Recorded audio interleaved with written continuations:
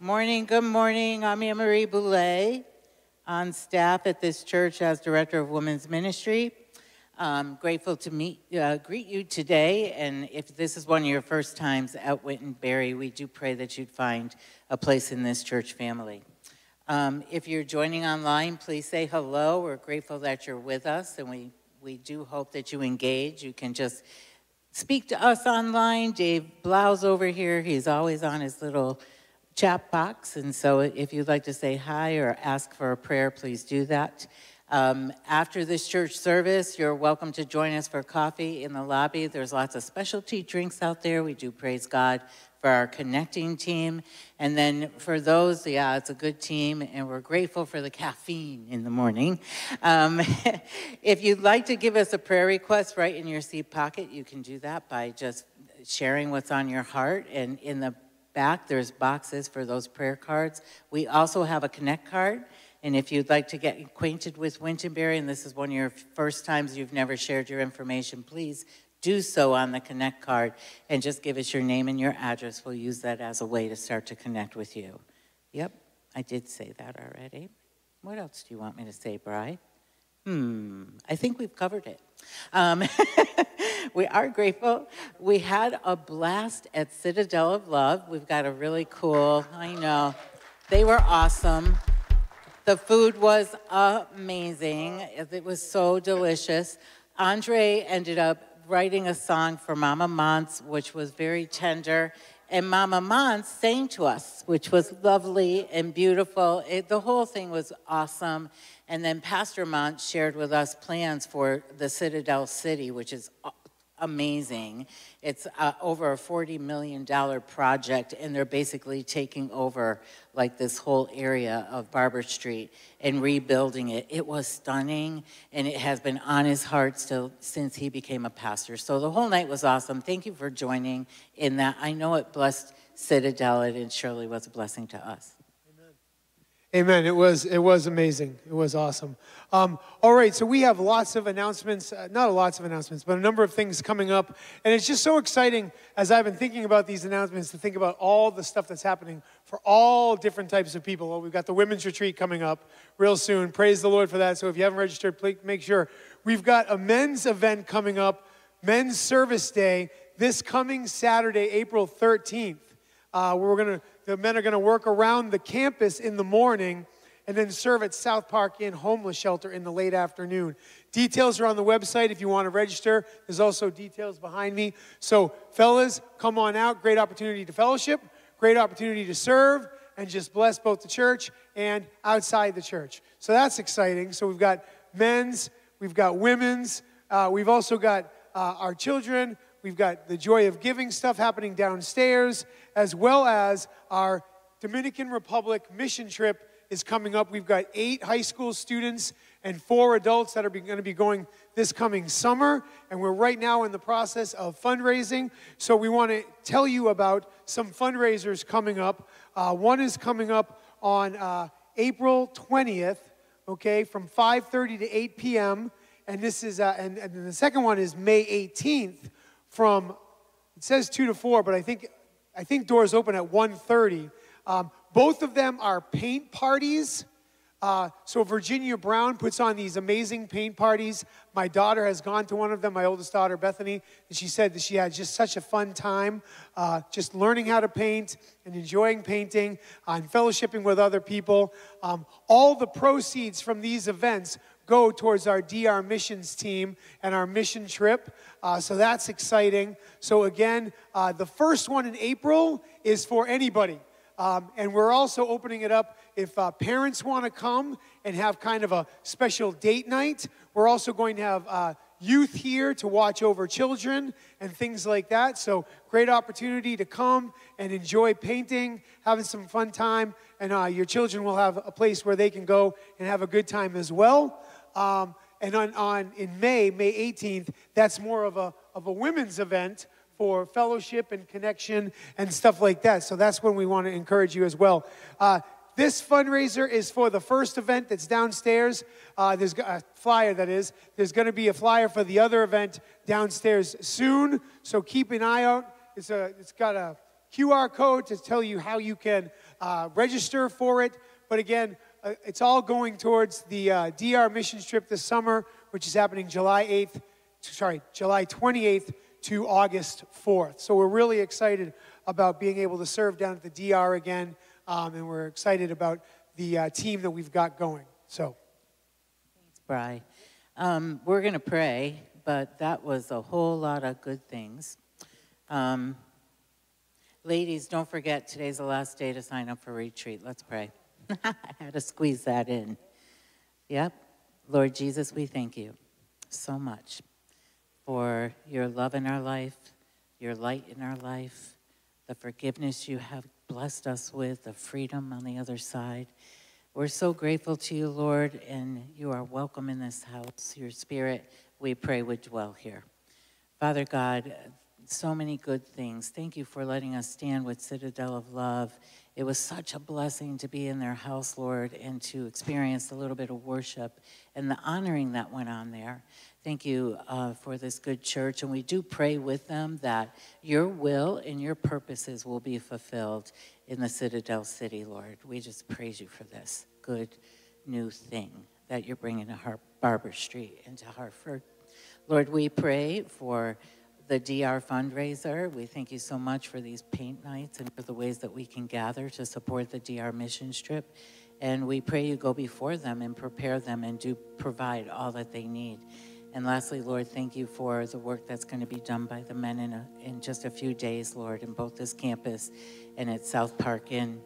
Um, see, that's where you shine through us, Lord, when we just do the things that we were born to do. So we just praise you for all of this good news. Thank you for the Easter season, Lord. We pray your will be done today. We love you so much, and we pray this in Jesus' name.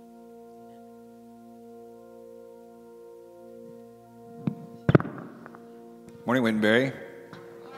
I love coming here on Communion Sunday, and I think about the Last Supper and the attitude and posture of Jesus towards his disciples. I was actually reading it again this morning, and it says that they they were in the midst of their meal. They hadn't finished eating yet, and he decided to wash their feet, which would usually happen right at the door as you came in. But he decided to kind of make this statement of, of servitude and humility towards these men who he loved and knew would be serving him um, in spreading the gospel. And it's just a, such a cool scene to think of our Savior and the humility that he embraced in order to serve us and to love us. So I'd really like to, to sing, to stand, uh, to worship together. So let's stand if you can and uh, join us in, uh, in singing and worshiping.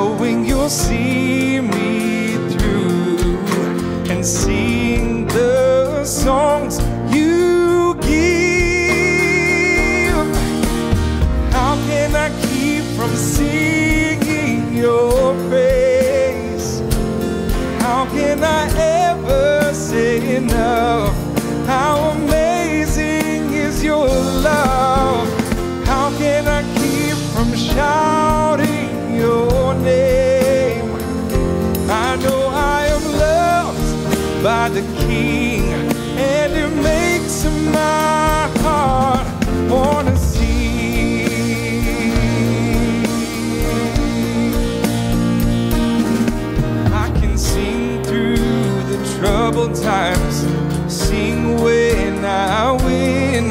I can sing when I lose my step and fall down again.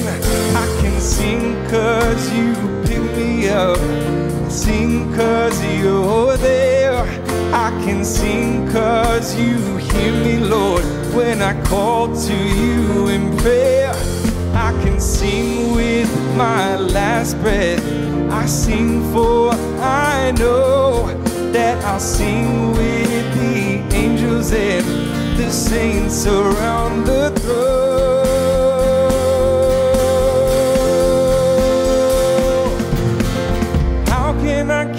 From singing your praise? How can I ever say enough? How amazing is your love? How can I keep from shouting your name? I know I am loved by the King, and it makes my heart. I am loved by the King,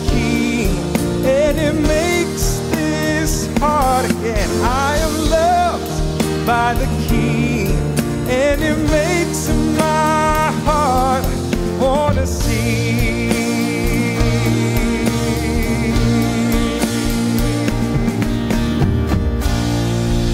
Lift him up in praise. He is the King. We are loved by the King of Kings. Amen.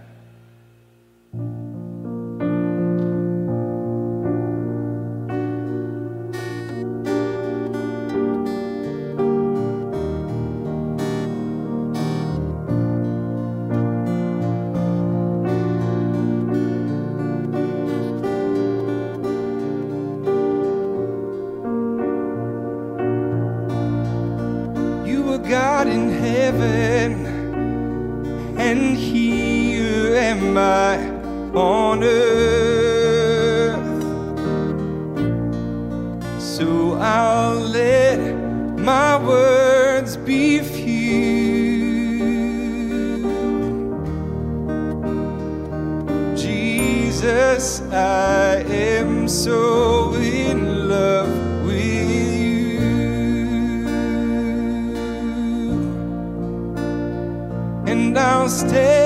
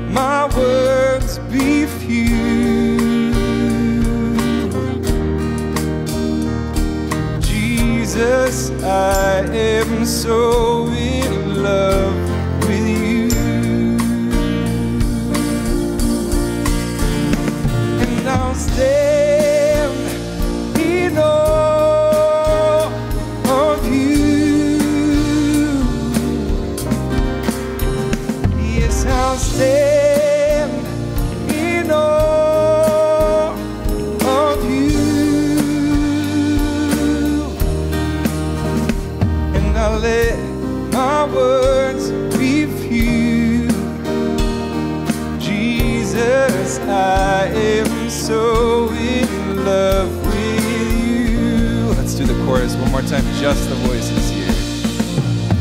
I'll stand in awe of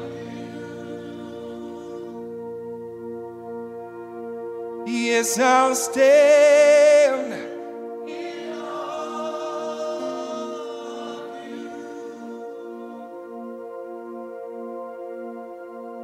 And I'll let my words be few. Jesus, I am so in love with you.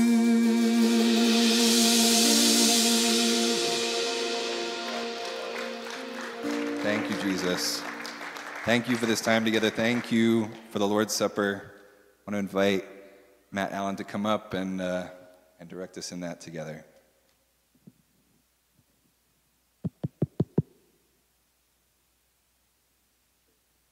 Good morning, Wintonbury. Hi, I'm Matt Allen. I'm, uh, and you guys can be seated right now. Sorry. Um, uh, I'm Matt Allen. I'm one of the elders here, uh, one of the honors I have to do this. Um, and um, Andre kind of prompted me towards something this, this week to say, and uh, it really kind of got me off on looking. Um, looking out there and kind of researching and, and getting deeper into uh, communion. Um, and reading and preparing for this morning, I stumbled upon kind of a new notion for me. And I want to I wanna share kind of this thought of there's, when I think of communion, I kind of get stuck with this vertical view. It's between me, it's between God, and it's between what we share, right? And that's not a bad thing, that's a good thing. We want that as part of this. But I also want to kind of have us think about something that I really hadn't thought of, which is this horizontal perspective. And I'm going to kind of use Paul's words in 1 Corinthians 10 16 through 17 to kind of start as a baseline for that. Because when you jump into the next chapter, that's where all the good stuff about communion is, right? All the, all the stuff that you're familiar with. But we kind of, I kind of always kind of missed this piece of it. So his words kind of prompted me into looking deeper for something like this.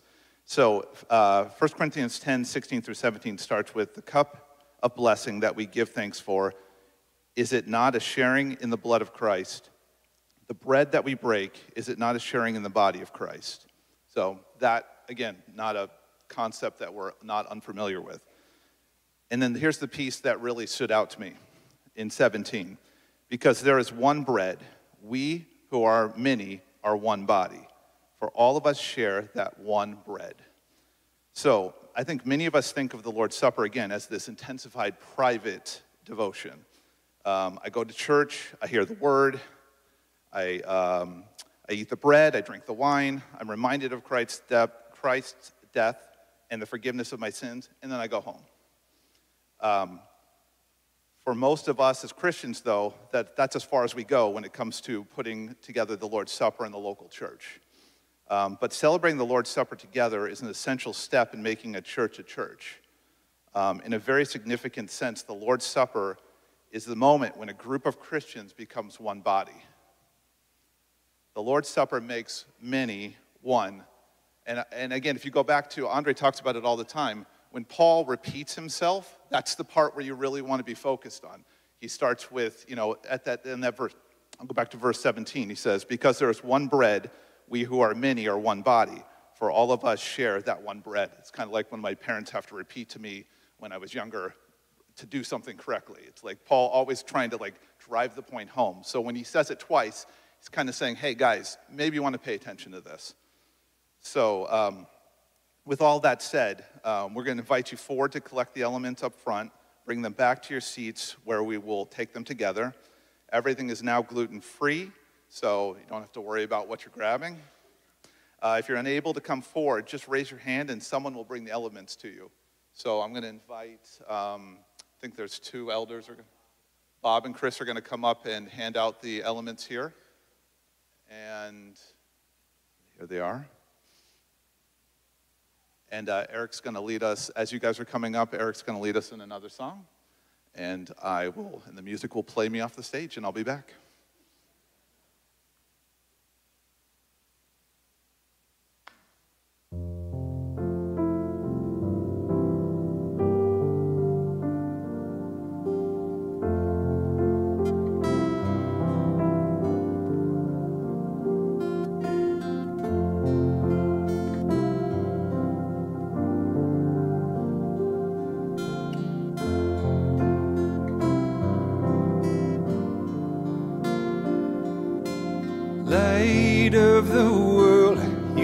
Step down into darkness.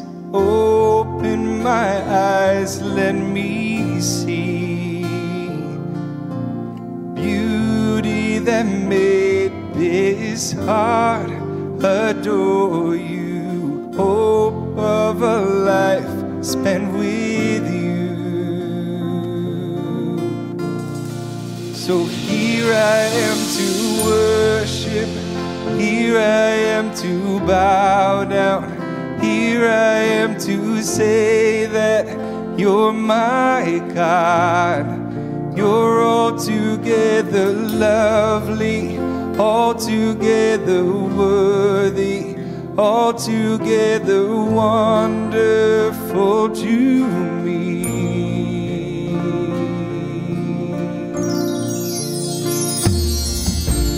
King of all days, oh so highly exalted, glorious in heaven above.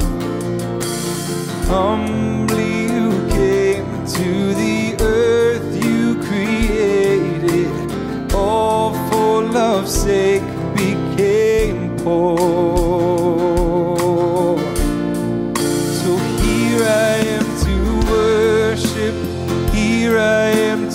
Bow down, here I am to say that you're my God. You're altogether lovely, altogether worthy, altogether wonderful to me. I'll never know how much it cost to see my sin upon that cross. I'll never know how much it cost to see my sin upon that cross. I'll never know how much it cost to see my sin upon that cross. I'll never know how much it cost to see my sin upon that cross.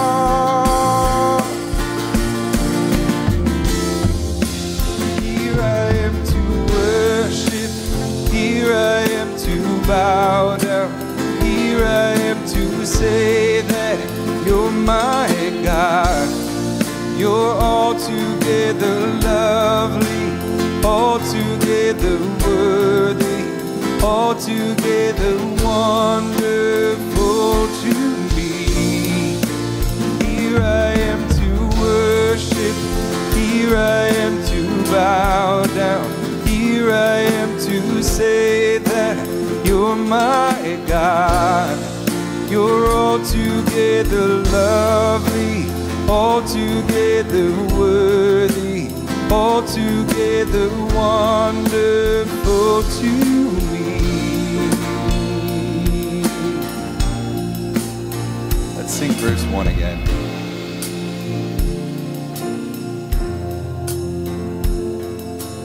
Light of the world, you step down into darkness Open my eyes and let me see this beauty that made this heart adore you. Hope of a life spent with you. Here I am to worship. Here I am to bow down. Here I am to say that you're my God. You're altogether lovely, altogether worthy, altogether wonderful to me. Here I am to worship. Here I am to bow down. Here I am to say that you're my God.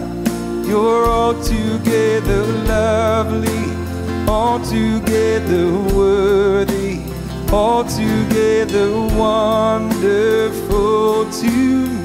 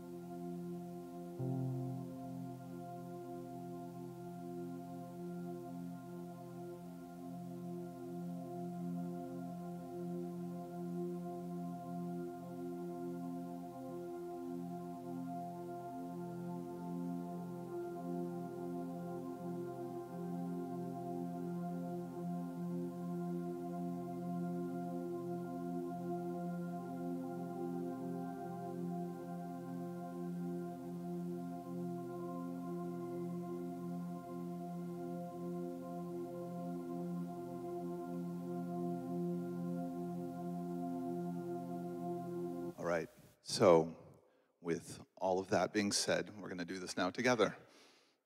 Um, so, the bread represents the body of Christ broken for our healing. So, you can take that now.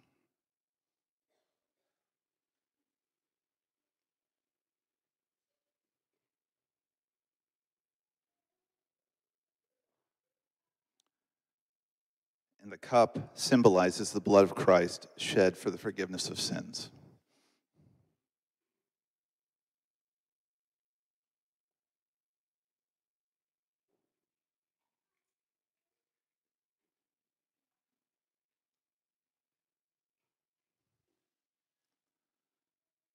Let's pray. Let's pray together.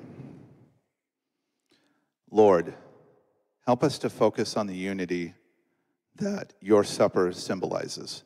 Help us to remember that we are one in you and in Christ. The shed blood and the broken body of Christ make that oneness possible. And that our partaking together of the elements makes that oneness vi- vis- visible. Amen.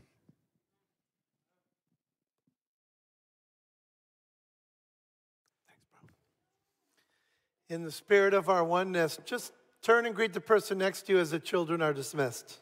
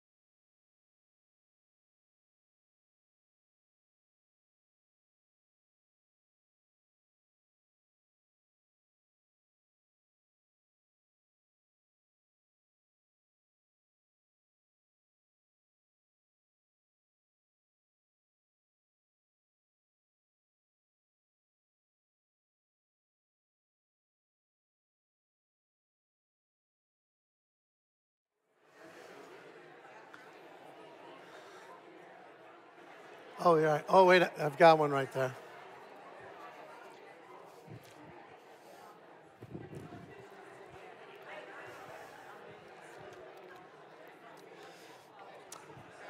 All right. Uh, all right, let's come back together. Thank you very much. Herding cats. Actually, that was pretty good. Normally it takes more than that, so good job. Before we go any further this morning, we do have one more thing to share with you. And uh, this Wednesday is our third spring trimester of Wednesday Night Live. So I'd like to call up the facilitators right now. Bob, you should have sat up here today, bro, with all this stuff you're doing. so if I'd call the facilitators up, that would be great. And um, we'll just get in a line. Let me grab the mic here. All right, so every trimester we offer four classes. We have four tracks in Wednesday Night Live. Uh, this is an, uh, just a discipleship opportunity to grow. We, we meet for dinner at 6, and we invite you to come even if you're not taking a class. It's a great opportunity for community. And then we worship at about quarter of and pray, and then we go to classes from 7 to 8.30. These classes are free. There's no cost to them. There's free will offering if you would like to help us defray costs. Um, if you do that QR code with your phone right now, you can actually go right to the registration page. Um, but we're going to talk forth uh, each of these. These are all designed for people who are at different places in their spiritual journey. Some of us are just at the beginning, some of us are way down the line, some of us are in between. Wherever you are, you can find a place. Uh, we'd love to have you. So let's start with Bob Larario developing a spiritual formation. Tell us why we should take your class and who's it for? Uh, good morning, church. Well, course, uh, you should take it because Andre just said you should. no, in actuality, it's, it's a, a, wonderful class. It's designed for um, new believers, but really for anyone who put their faith in Christ uh, a week ago to someone who put their faith in Christ 10 years ago or 30 years ago. We all want to grow closer to Christ. And how do we do that? We develop our spiritual foundation. Um, what does that mean? Uh, is it about emotional experiences? Is it about serving? Is it about uh, Bible study, uh, prayer is about setting ourselves away from the world as a monk does and get away from the stain of sin and those things? You know, or, or is it about um, getting together in community, being part of a church, um, being part of life groups, small groups? Um, what does that mean, develop your spiritual foundation? In this class, we're going to dive into that. We're going to see what God's Word says about that. And it's going to be a great time, so I hope you all can come join. So that's particularly for people who are newer to the faith, exploring the faith, wanting to know what it means to be a disciple of Jesus. Bethany Sullivan and I are going to co teach Knowing the Truth Christian Theology. Bethany, you want to tell us about that? Yeah, so it's um it's a really cool. Uh, I was very blessed when Andre asked me to teach because I think you know we were created to be uh, strong and deep thinkers. God created us with minds to think. And so this class is basically going to go through the historical doctrine of Christianity. So we will look at um, theology, we will look at uh, how the Bible came to be and why it is authoritative. We're going to look at each of the persons of God God the Father, God the Son, God the Holy Spirit. We're going to look at salvation. We're going to look on how sin has affected humanity. Um, and we're just going to dive deep. It's going to be discussion based, mm-hmm. which means, you know, there's no room for. Um, for any wrong questions. It's going to be a place where we can talk freely and go back to scripture and see what it says. Um, we also, Andre's read this book a ton of times, and I've started reading it. Know the Truth. Know the Truth by Bruce Milne. Um, it's a great book, and it just lays everything out so clearly. So I'm really excited for this class, and it's for anyone that is wanting to dive deeper into their faith and know the background of why the church is where it is and why we believe the things that we do. And we're even going to take a deep dive into why Wintonbury has chosen to the, believe the things that we do. So it's going to be a great opportunity to have discussions with other people that are seeking um, to grow in their knowledge of doctrine and then their knowledge of faith. So it's going to be really cool. I'm excited. Me too. I'm excited too to teach with you. Bethany uh, has a degree in Christian ministry, Bible, uh, and uh, Bible theology. So together, I think we're going to have fun doing this. Gospel centered life. What is that, Dave LeBlanc? So um, I'll give a description. In um, The ch- chapter 1 of Paul's letter to, to the Colossians, he commends them by saying this. He says, The gospel is continually bearing fruit and increasing in and among us. That can and should be true of us too, right? This study will help us live to learn, live, learn to live the gospel, live as ambassadors for Christ in everyday life. Amen. It's not about how good we live this Christian life. Amen. It's about growing in humility and usefulness for the Lord. Amen. We'll look at how we view God and how we view ourselves in light of the gospel. The gospel will shape every aspect of our lives if we allow it to, but it's not automatic. As Andre has said before, we need to preach the gospel to ourselves every day. Amen. Well, we'll have fun in this class. If you have any questions, let me know. Please join us. If you struggle with being good enough, if you struggle with beating yourself up, this class is for you. And let's get uh, the Blombergs. Hello. um, so Andre said, "Why should you take this class? It's easy. We'll just give you money." No, I'm kidding. um, but um, that always works. This um, this book is a great book. It's by Michael Blue, Ron Blue's son. Um, that's why I'm talking right now because it's the son's talking about it, his son. Yeah, yeah. Uh, father, son. Yeah. Um, but um, this book really helps talk about financial hope, and the whole purpose of the book is to talk about how our hope isn't found in our financial situation; it's found in God, right? Um, money is a terrible master. If we try to serve it, it never goes well. Um, so this book, it, he talks about how Paul, in his letter to the Philippians, tells us that he has lived in wealth and in poverty, and that his contentment wasn't dependent on either circumstance, but entirely dependent on his trust in God. So that's the important thing that we find in this class is not to put our hope in our finances. Amen. Amen. And so, you know, we think we're united in Christ, right? but we're also united in the fact that we handle money every day of our life. That's true. We're dealing with it, we read about it, we spend it, we save it, we're, we're dealing with it all the time. And God has over 2,300 verses in the Bible about money. So hmm. I would encourage you to come, wherever you are in your life, wherever, wherever you are in your walk of life, to come and hear what God has to say about it. Amen. Can we thank God for those willing to teach and facilitate?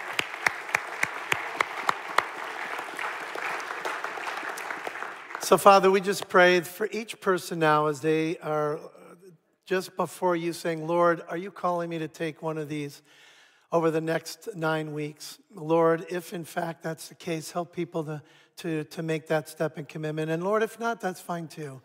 But Father, we would just want to see people take their next step, next step in their walk and journey with you into grace, into solid theology, to create a solid foundation so we can make good decisions with things like money.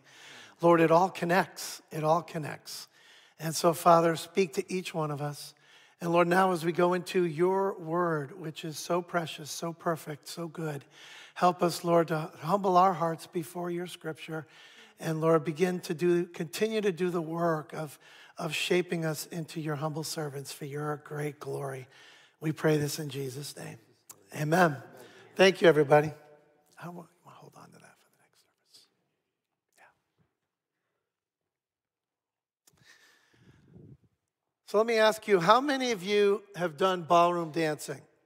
Anybody? I'm just curious. Ballroom dancing. Okay, so quite a, quite a few of you actually, not too bad. Well, Diane and I have done ballroom dancing too, and I'll tell you, it's hard. It's really hard. You know, and the hardest part of it is, is when neither one knows what they're supposed to do. And when the person doesn't lead right and the person doesn't follow right, it just is a complete mess. And that's exactly what it's like in marriage in the church as well. When the leading and following doesn't go well, it is a mess. And I make that analogy because of our dear friend Margie Schuck, who is our administrator here at Wintonbury. And her and her late husband Tom taught me such a valuable lesson because they taught ballroom dancing. And they were expert ballroom dancers. These are pictures Margie gave me this week. And they would often do it and teach on marriage at the same time because they saw an amazing analogy. And, and the analogy was basically this that in ballroom dancing, the man is to lead and the woman is to follow. And for the dance to go well, they each have to do their part. If either one takes the other part, it falls apart. And the interesting thing is this if the leading and following is done correctly, the man fades in the background and it's the woman who shines. And a matter of fact, they, they said that in competition, the man will be told to wear something that's very nondescript, and the woman wears something that's really extravagant and beautiful. Why? Because the point is to make her shine. The whole point of the man's leading is that his wife would shine. And when they do it well together, it is a beautiful dance. And I think that analogy, like Tom and Margie said, is a perfect one to biblical marriage and how God wants his church to operate. I think about the words of the Apostle Paul in Ephesians chapter 5 when he was speaking to husbands. He commanded them this way He said, Husbands, this is how you lead love your wives, just as Christ loved his church and gave himself up for her to present her why? To present her to himself as a radiant church. That's how Jesus led his bride, and that's how the scripture tells husbands to lead their wives, but it's for the purpose that they might shine. And ultimately, it's that God would be glorified. That's how God wants Christian marriage to operate. That's how He wants the church to operate with its leaders and followers as well. And when we lead and follow well, it is a beautiful dance. We're in a, our sermon series on the book of First Timothy. I called it Spiritual Treasure because that's what Paul says the gospel is. That's what this book is all about is the gospel. The good news that we can be right with God through faith in Christ of no merit of our own.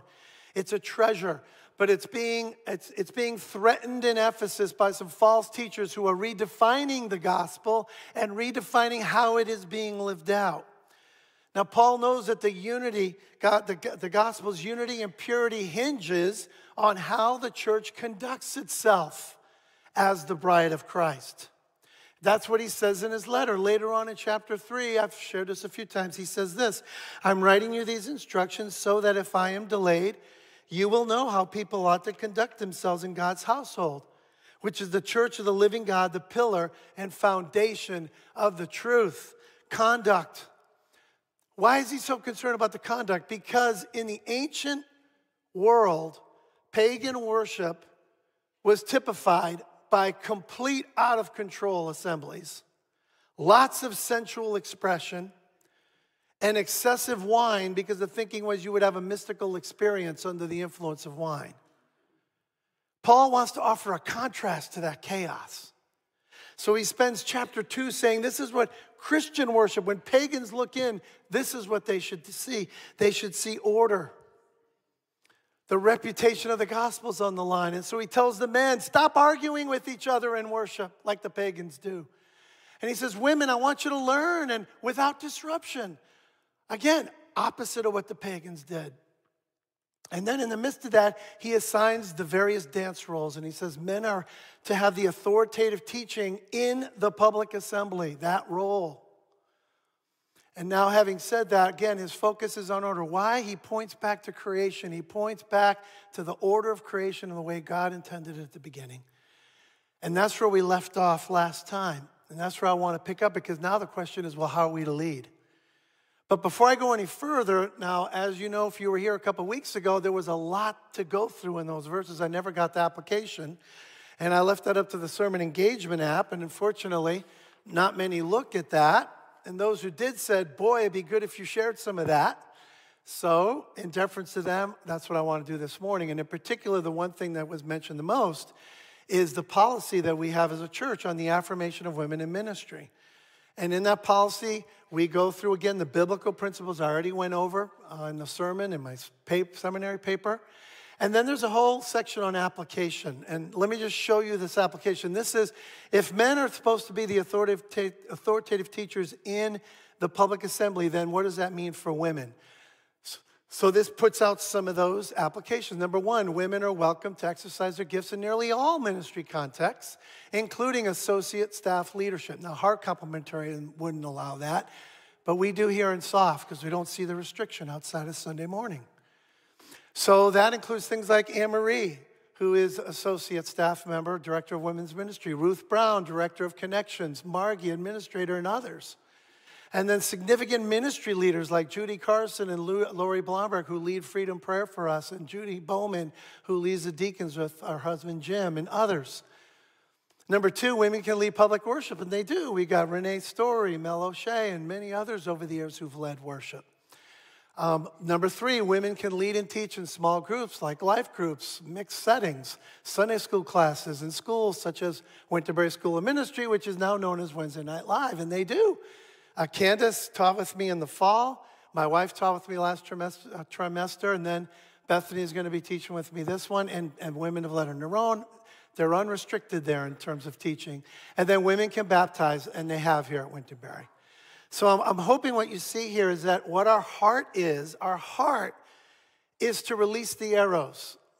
We want, each one of you is fashioned by God, and we want to release you into what God's called you to. Our mission statement is to seek to help individuals and communities experience God, become more like Jesus, discover their calling, and impact their world. And we're very serious about that. Um, that's why we offer the Kingdom Calling class, and it's for men and women. We want people to find their calling and then to pursue it.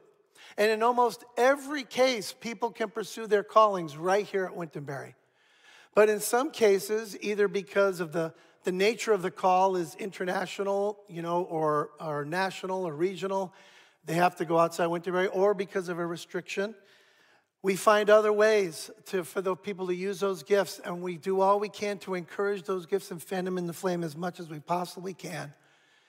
So the bottom line is we can partner on the non essentials, and then we find ways that we can bring forth the gospel with the giftings God's given. And that goes for men, women, and children, actually. So please come and talk to us, elders, staff, uh, other leaders, if you have questions or if you'd like to discover your calling and then get launched out. We would love to come under you and put wind under your wings so that you can glorify God with what God's called you to do.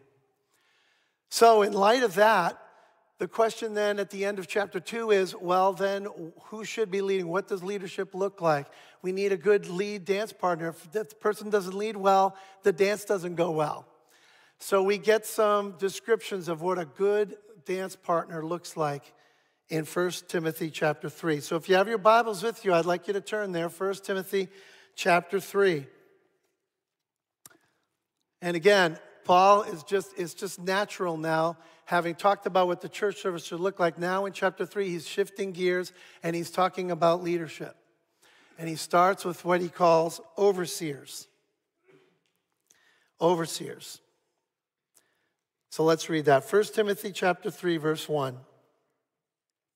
Here is a trustworthy saying Whoever aspires to be an overseer desires a noble task. Now, the overseer is to be above reproach, faithful to his wife, temperate, self controlled, respectable, hospitable, able to teach, not given to drunkenness, not violent but gentle, not quarrelsome, not a lover of money. He must manage his own family well and see that his children obey him, and he must do so in a manner worthy of full respect. Because if anyone doesn't know how to manage his own family, how can he take care of God's church? He must not be a recent convert, or he may become conceited and fall under the same judgment as the devil. He must also have a good reputation with outsiders, so that he will not fall into disgrace and into the devil's trap. So, the first thing Paul affirms here is in terms of church leadership is that uh, this is a noble task. It's a noble task, it's something worth aspiring to. And the word here for overseer is interesting. It's episcope, which is where we get episcopal from. Um, and it's basically synonymous with the word Paul uses uh, in the book of Titus, where he also puts forth qualities of an elder. There he calls them elder. The only difference is, is that elder was more of a Jewish word. It was the word used in the synagogue for the one who was overseeing everything. And then overseer, episcope, was more of a Greek word that was used of shepherding a group of people of some kind to a particular purpose. So if you put that together, that's what these elders or overseers are called to do. They're called to shepherd God's people on behalf of Jesus Christ. They are under shepherds to the chief shepherd. So Paul actually describes this function of shepherding when he talks to the Ephesian elders in the book of Acts, in Acts chapter 20. He describes it like this He says to them, Keep watch, Ephesian elders, over yourselves and all the flock of which the Holy Spirit has made you overseers. Be shepherds of the church of God, which he bought with his own blood. Now, note, this isn't a glamorous CEO, corner office, you know, corporate gig. Shepherding is smelly, it's dirty, it can be lonely out on the hillside. It's hard work. It is hard work. I like how one commentator uh, described this ministry of eldership. He says it's not a dreamy eyed advancement to a posh appointment, it's enlistment in a duty that is always exacting and often thankless.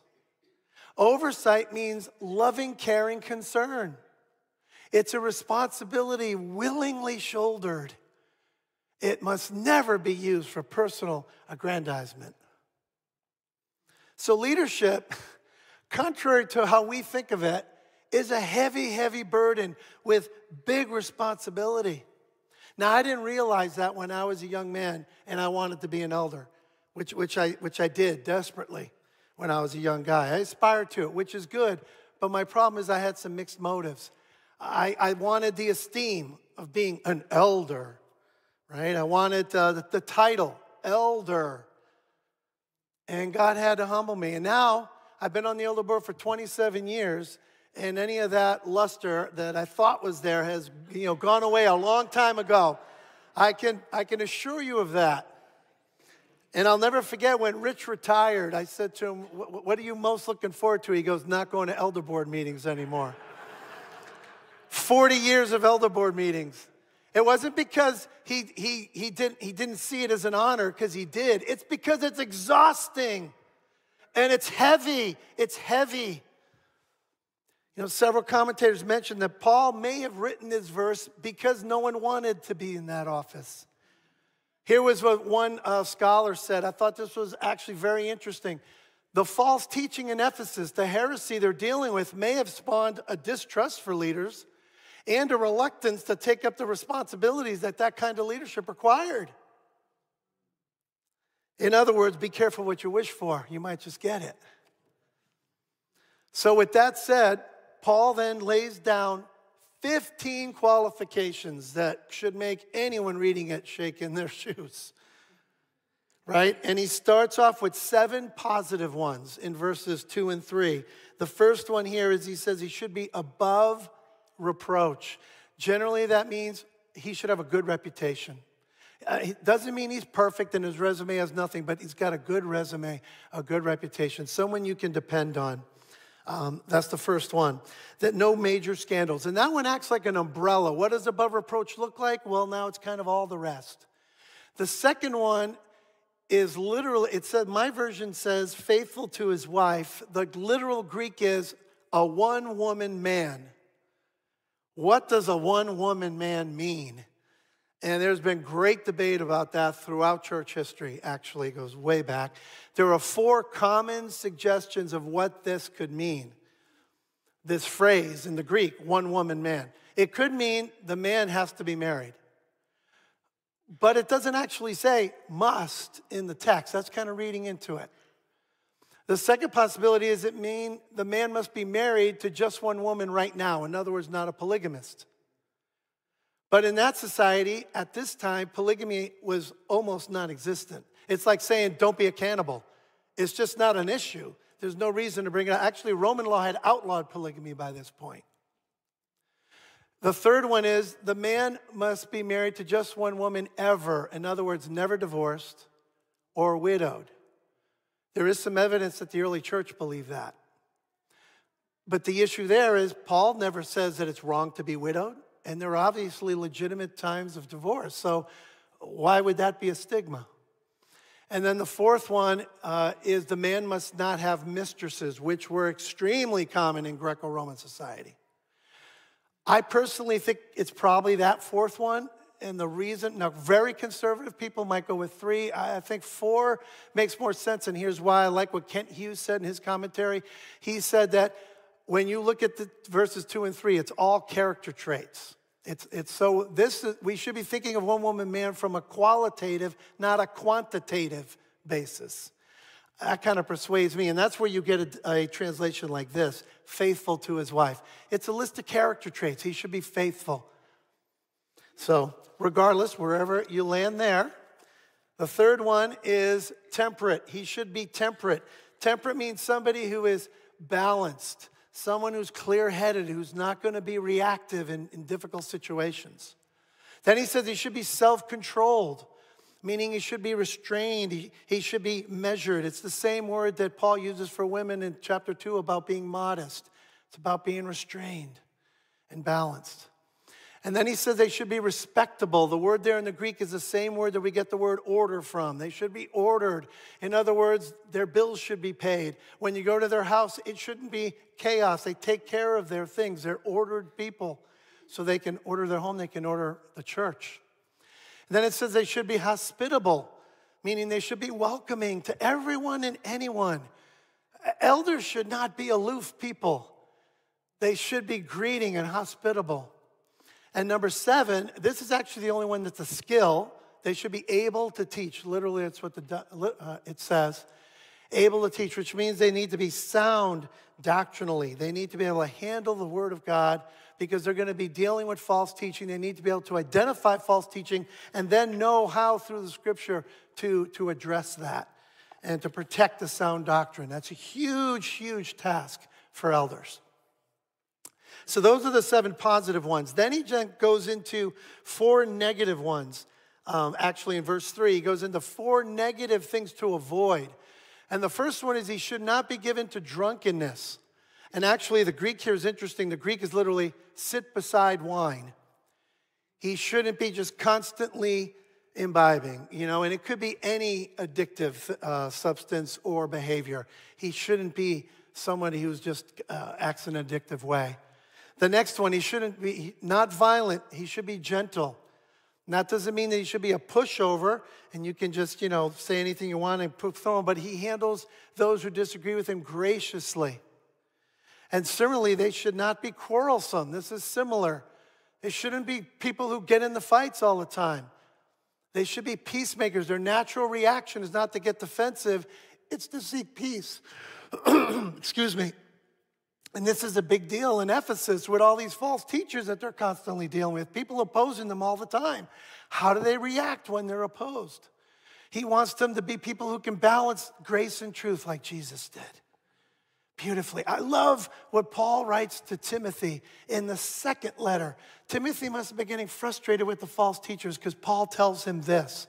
He says, and listen carefully the Lord's servant must not be quarrelsome he must be kind to everyone, able to teach, not resentful. Opponents must be gently instructed in the hope that God will grant them repentance, leading them to a knowledge of the truth. That is so powerful. You know, you can tell if someone's walking in the Spirit by how they handle someone who opposes them. Flesh or spirit, you can see it. Then the fourth and last thing they're told to avoid is they should not be greedy for money. And that just means they should be responsible, but they shouldn't be just motivated by money. You know, a lot of times in churches, successful businessmen are usually uh, elevated to elder, but listen, business wisdom and spiritual wisdom are not the same thing. And the church is not a business, it is a people, it is a family. We need spiritual leadership as well as, you know, wisdom and logistics as well. So from there, he then shifts from these characteristics. Now he shifts to family life and looks at the elder's family life, verses four and five. He must manage his own family well and see that his children obey him. Mean, he must do so in a manner worthy of full respect. Because if anyone doesn't know how to manage his own family, how can he take care of God's church? That makes sense, right? But I don't know a man who's ever been an elder who reads those verses without shaking in their shoes. Because I've yet to meet a perfect father. And I've yet to see a perfect family. So, who in the world can qualify? Well, a couple things. The word for children is teknon. That's the word for a child up to the age of adolescence. Once they were past adolescence, they're adults. And he's being told, does he manage his family well? It doesn't say, does he control his family well? We can't control our kids' choices once they get past adolescence, but we can manage well. And the question is have you prayed? Have you taken care? Have you loved? Have you provided? And if the answer is yes, then you've managed well. And that's one reason why we interview wives whenever we consider a potential elder. What's the family life like? And then the last two things he brings up are specific situations. Uh, verse 6 He must not be a recent convert, or he may become conceited and fall under the same judgment as the devil. And he must also have a good reputation with outsiders, so he will not fall into disgrace and into the devil's trap. The devil was judged for what? You remember? Pride. He wanted the position, right? And he ended up falling hard. That's what he's getting at. A recent convert who, who is elevated to elder because maybe he's charismatic or very successful in life or whatever. We're just setting them up for that same prideful fall. We don't want to do that. We get puffed up in pride. And then in verse 7, we go, we, Paul comes full circle. He started with above reproach, good reputation, and then he ends. But now he's saying they should have a good rep- reputation not only among us inside the church, but outside the church. And when they do, it is a beautiful thing. It's interesting. One commentator, Gordon Fee, I thought he made an interesting thought where it says he will not fall into disgrace and into the devil's trap if he has a good reputation with outsiders bringing disgrace to the church. That can happen through individual elders, pastors making, and we've seen it, right? I don't need to list names, horrible decisions that bring the whole church into disgrace. Or it can be when we as believers fight with one another instead of learn how to, to love one another. When we infight, the devil's like, I got them right where I want them.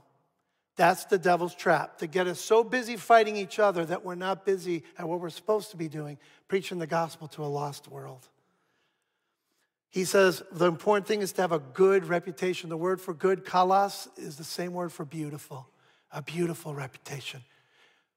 A beautiful reputation. And when the leading and following are done well, it's beautiful. And the whole world sees it and they say, Tell me about your God. So, being an elder is a very high privilege, but a tremendously high bar and a tremendously high burden of responsibility we will answer to God for. When I think of leadership, what comes to my mind immediately is this that's leadership. You want to be a leader? Get up on a cross. At Iron Sharpens Iron, one of the speakers said, If you aren't bleeding, you aren't leading. Leading and sacrifice go together. And the point of the sacrifice is for the ones you're leading. So, men, are you leading like Jesus? You elders who've been called into leadership, are you leading like Jesus sacrificially?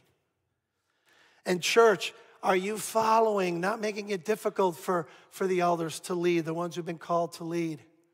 I love what the writer of Hebrews says to the church. This is to us.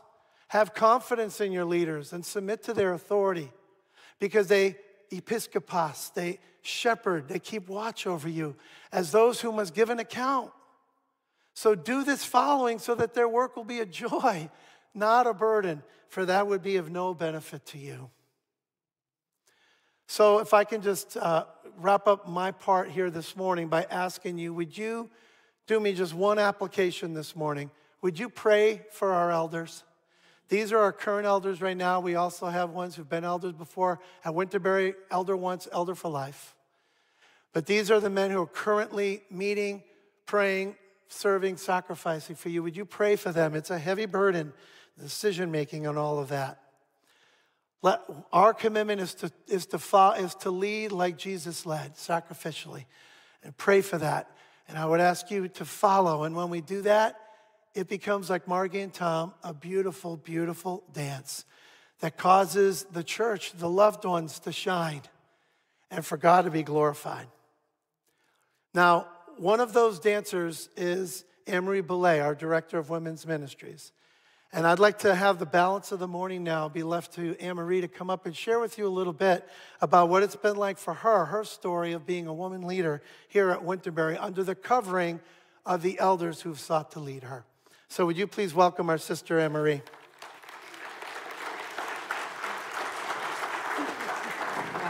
Love you. Hello. Does this work or? Good morning, good morning. I'm wearing a lapel. If not, I'm going to take the handheld. You can hear me? Oh, I can't hear myself. Can you put it up higher? It's okay. Wow. Well, thank you, Andre. Yeah, I hear me now.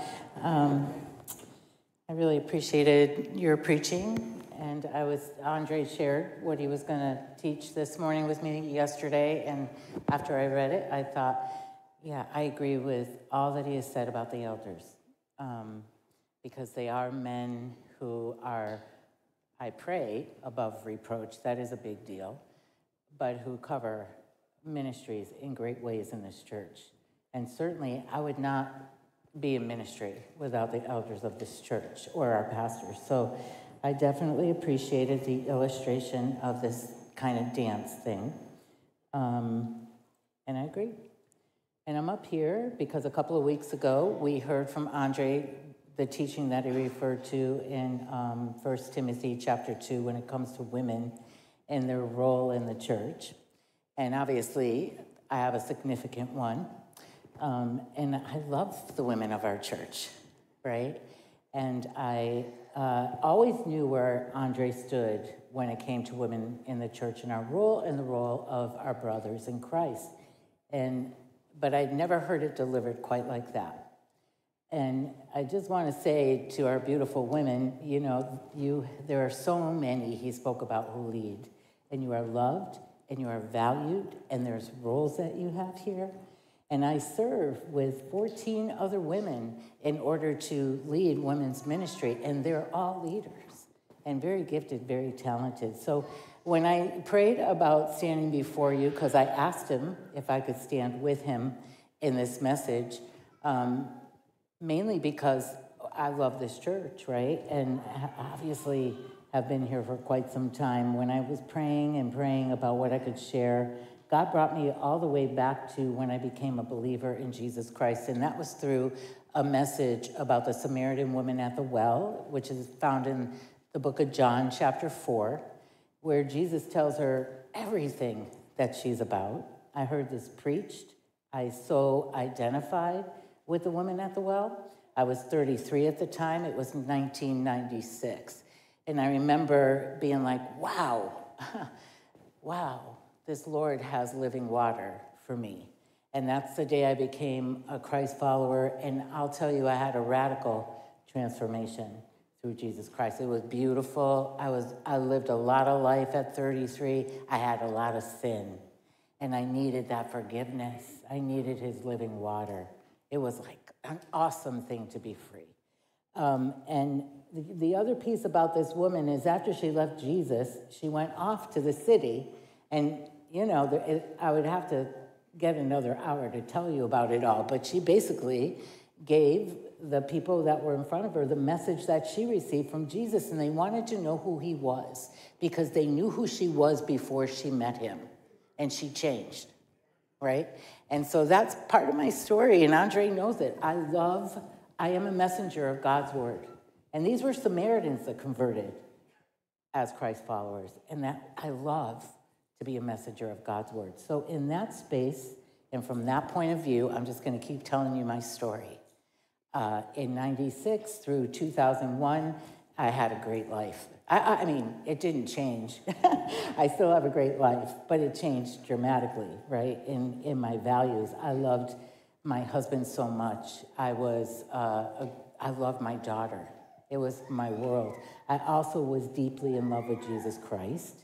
And I uh, had three female friends who discipled me for years and taught me how to study the Word of God. And it was beautiful. Uh, the more I learned about Jesus, the more I came alive. I mean, I can't even explain my transformation in Christ, but it was awesome. I was also a businesswoman and I was very successful. I mean, I had powerful positions in large corporations. I ran Northeast divisions um, in various departments. I was called, my boss would call me his superstar. Of course, I love that. Um, and I also, you know, got a lot of awards for my accomplishments. I made great money. My last job was a sales rep in corporation in the third largest pharmaceutical chain in the country. And I enjoyed, you know, great success. I really did. At the same time, I was constantly praying to the Lord because I tell you what, I wanted to serve him there's just no question. I was all in for Jesus. Anyways, I'm praying and um, got this great career, and then I bring a $1.5 million deal to the table, which was a lot of, you know, it was a good sale in that day. And I remember the corporate office saying, We don't want it, you know, and they did not let me close it. And I realized, wow, they've really shifted their goals, and I'm gonna have to think about something else. So I left that corporate position and I, in prayer, kept asking the Lord, What can I do, Lord? What can I do? And I had some expertise. And essentially, I moved into my own business. I came from a family of entrepreneurs. And I just decided, hey, I'm, I'm going to go for it. And I became an entrepreneur. And I, my business was called Senior Care. Look, I asked the Lord in a prayer, don't ever pray like this, but I did. I go, to the Lord, Lord Jesus, uh, please bless this business and please let me make a lot of money. and I'll just do it for three years, and I promise you, whatever you want me to do, I will do it for you, Lord Jesus, at the end of the three years. That was essentially my prayer. Teresa, my daughter, was our daughter was about to start college, and it's expensive, and we did need income from me, right? And not that Brian wasn't doing beautifully, but at any rate, that was my prayer. The Lord did bless that business. It was hugely lucrative. Uh, I mean, anything I could ever have wanted, it was like mine. It, it, seemed like everything I touched turned to gold. It was good. It was good. And God was all in it, and I was always giving him the glory. Um, we, that church that I became a Christ follower in, we ended up leaving in 2002. And this is how we got to Wintonbury. Um, we had friends here who were part of the worship team who were from that old church, and I loved to sing to the Lord. And, anyways, this day, we, we looked for a church for a whole year. And every time I would stand in a church, I would weep. I'd be like, this Is this in my church home? You know, I was a mess. I was grieving. And then a, a year, my husband took me everywhere. We went everywhere, every kind of denomination. And then we came to Wintonbury. And look, we live in Massachusetts, and I remember driving down 10 and 202, kind of yelling at uh, Brian, like, why are we going all the way to Wintonbury? I mean, it's so far away, and we haven't tried this church or this church or this church. So, all the way down 10 and 202, Brian's listening to me, and he just keeps driving. He's like, You're good. We'll have a good time. Anyways, and that particular weekend, I really feel felt like Jesus had really healed and sealed me in a particular way. I mean, I have been.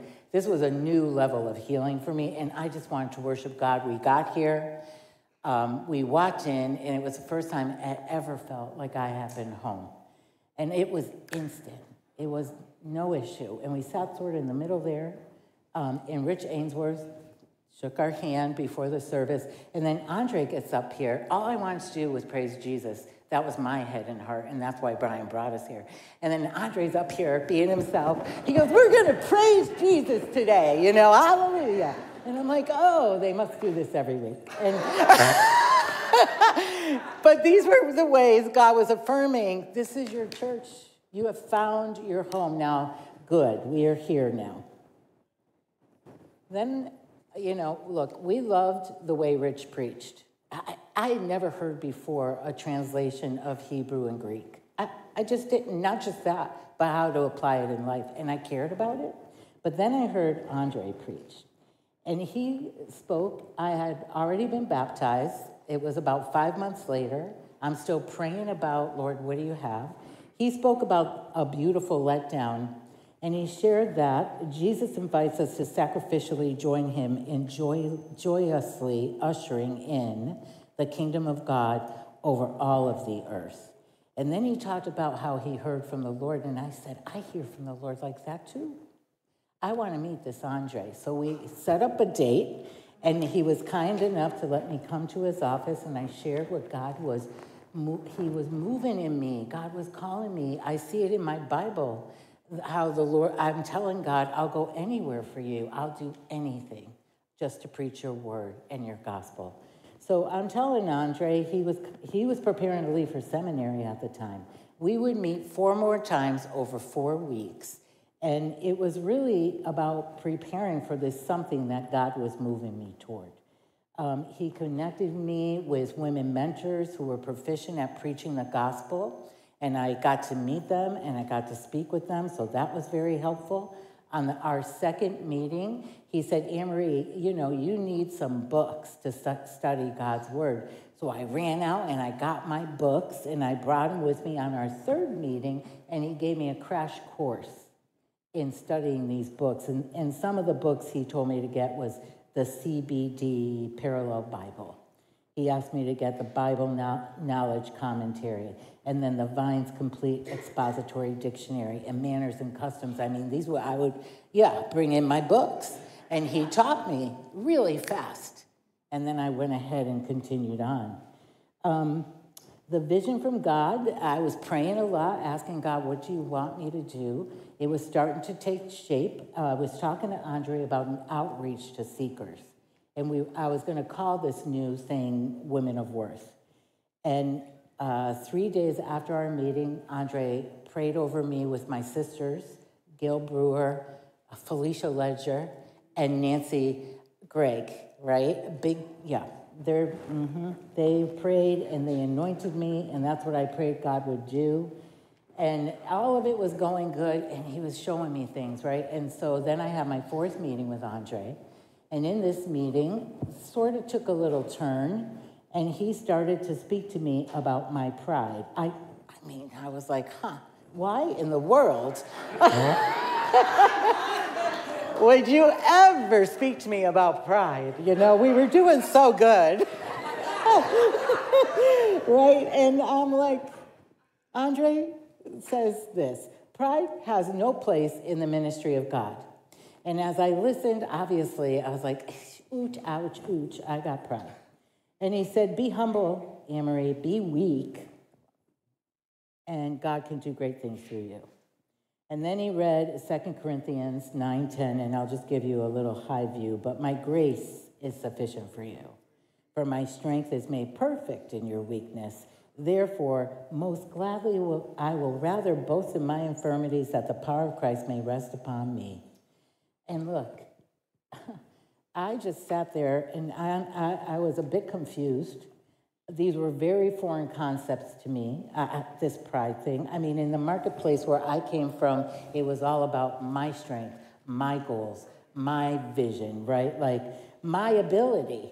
And everybody around me was about that too, right? Like what do you mean you don't have pride?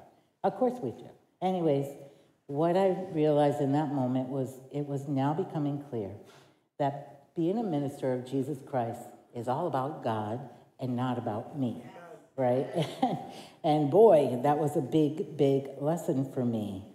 Um, I also realized that what God, what God had put on my heart was weighty, like Andre said about the elders. There's a weight to and a responsibility to preaching the Word of God, right? And that's where the Lord was taking me. Uh, our fifth meeting and our last, Andre was definitely leaving for seminary in a few days, I think. Um, we realized that Women of Worth wasn't a small group, it was a ministry, and God launched it in 2004. And uh, it was awesome. I'm sorry, 2003. It's important these dates, right? I'm still just here as a parishioner. I get covering from my pastor. Andre leaves, he passes me off to David Owen. which is good. I like Dave. Dave was awesome. And he would be my, he would, as Andre said, he gave me oversight. He way gave me oversight. He would check in, make sure things were going well. We started with 18 women. We ended up with 70 who met weekly, or bi weekly rather, to hear the word of God. And they became believers, and many of them believers in Jesus Christ. And they were bridged to the local church. And I'll tell you what, I just loved that. I loved what God let me do. And I'll also say, I never asked my husband to ever cover me in the marketplace. I was good. No, no. But when it came to ministry, I asked my husband, please cover me. Please pray for me. Please let me come to you and tell you what I see. Please tell me, correct me. Please help me because I don't know what I'm doing. I don't. I'm a woman who has all this marketplace stuff, and God saying, I want you to minister. That was hard. Uh, it came to a point where in no- November of 2004, so this was a, a while in, I remember prayed that prayer in 2001, and in one day, God shut down my business. So it had been three years and beautiful business, and He's like, You're done.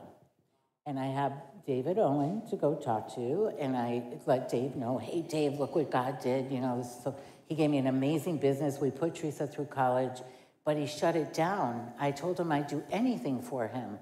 And, you know, here it is three years later, and I wonder what he wants. So, Dave in Dave's way, you know how Dave can be like our blow, right? he goes to me, Well, Anne-Marie, I think Jesus wants you to come on staff at the church.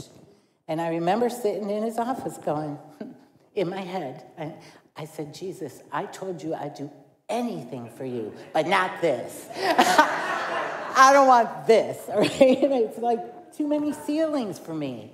I was used to, you know, I was a big leader. I don't know. I'm, I'm not trying to offend anybody. This is just my story. And you know, I am like that, right? Like I built, God designed me this way. Anyways, I told Dave, I mumbled or stumbled or stuttered. I don't know. I was like, thank you, Dave. So appreciate you asking. But I don't think that's what Jesus has for me. And that was in November. And I, uh, he goes, Amory, will you just promise me you'll pray? I go, okay.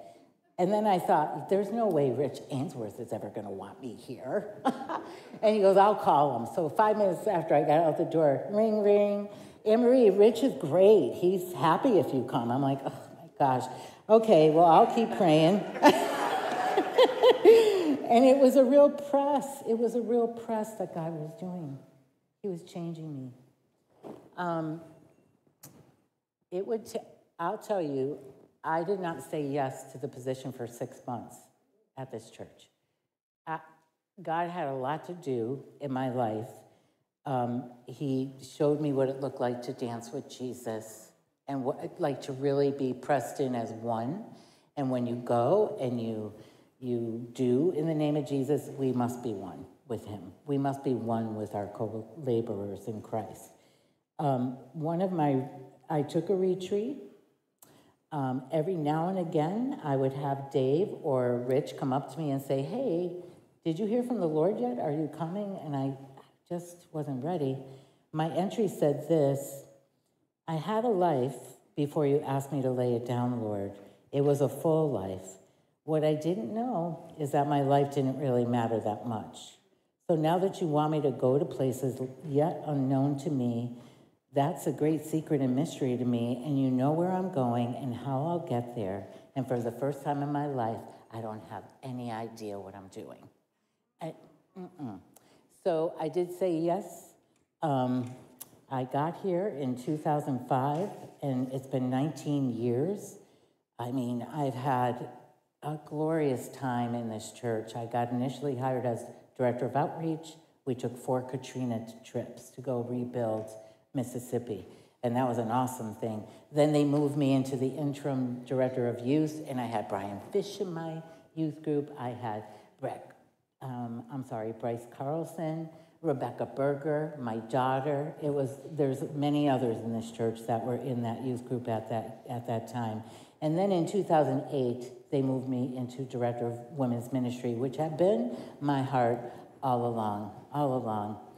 So I have had many opportunities to co-minister alongside of our church family and to lead in other churches too.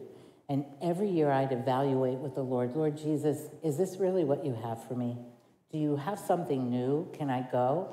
And every year he'd say, No, Anne Marie, this is what I have for you. And just stay. And it, I kept asking year after year. And then one year I asked, Lord Jesus, you know, do you have something new for me? Can I go? And he said, No, Anne Marie, this is what I have for you. And do not ask me again. so I never asked again. and that was like 10 years ago. Um, so, ladies, right, I'm up here because I love you and because you need to understand there's a pathway for you.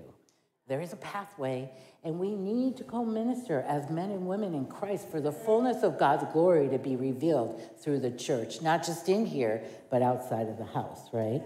Um, I've been blessed and I've been freely covered in my ministries, and I've taken this church some places, like in the anti trafficking movement. And even there was a moment when the church was like, Anne Marie, this is beyond the church. And I knew it, but they still stayed in the gap and covered something called the Underground New England. That was a big deal. I'm telling you now. And then we finally became a 501c3, and they were like, bye. No. I'm telling you. Um, in my yielding, I've seen God move in wondrous ways, and I've seen beautiful things come from that. I've had to yield in this one place with women pastors and preachers, right? Because I feel led to be a pastor and I want to preach God's word. And I can do that because God gives me places for that, but it isn't on this mantle. And uh, that has been hard for me. And I've had to yield my beliefs to the Lord and stand in the calling that He gave me at Wintonbury and stand united with Andre and the pastors and the elders, and that has been my joy. Because God told me to come here, and I didn't. I wouldn't have choose this, right? But that's what God has for me, and that's why I stay in place. So I, I guess what I would say in my yielding, I saw beautiful things that I never would have seen, and God did something beautiful. And I know we've all got some of that, maybe that we got to yield. You don't, we don't agree with everything in this church or any other. Um, if I had left, I would have missed things. Besides all of the ministries that God has allowed me to lead in this church in and out and to work alongside of leaders throughout the church, I would have missed getting my precious kidney from Kelly Sullivan. And that's why I'm alive today, because of this church and, and their prayers. Like I would have missed all that. Yeah, praise be to God.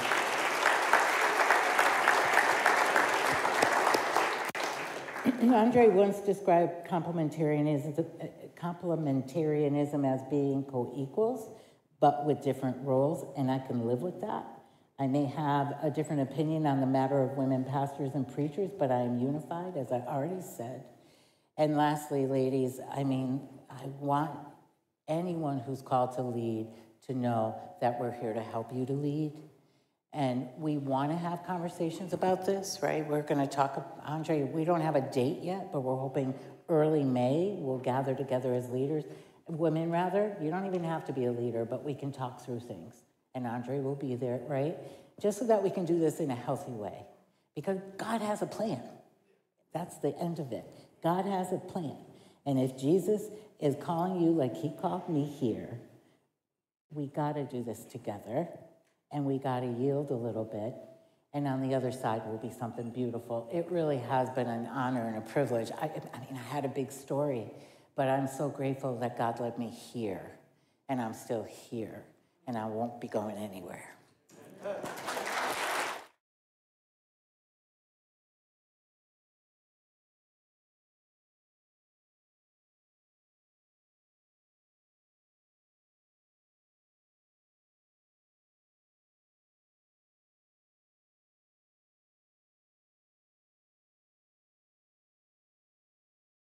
I want to show you a picture or, or, that she sent me when she was reviewing her journal to get prepared for today. Show that.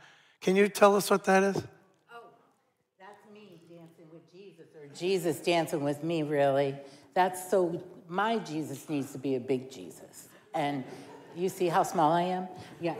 And I could go on and I on love about it. it, but I love it. But what was great about that is I was in the middle of writing my sermon and decided on ballroom dancing as my lead thing. And And then I she sends know. me this picture. Yeah. And I just, so, I just want Oh, to you're twirl you dance around.